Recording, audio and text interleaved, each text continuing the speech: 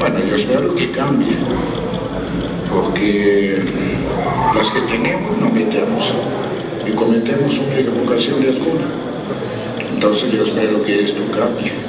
Si hay necesidad de cambiar jugadores, pues no tengo ningún problema.